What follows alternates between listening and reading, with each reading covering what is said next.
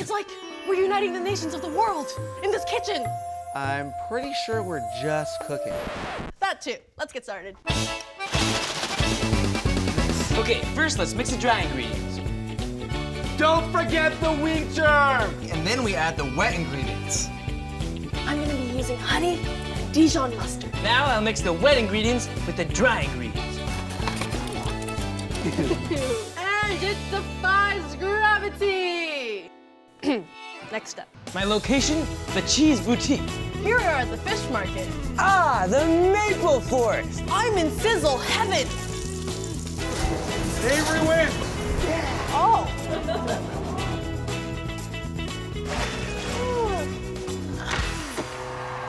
I think I need a snack. Can we cook something now?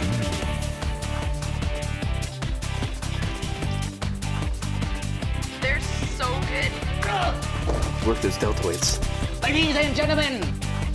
What should we call it? Squishmaster 3000. Hey! How's my breath? And go!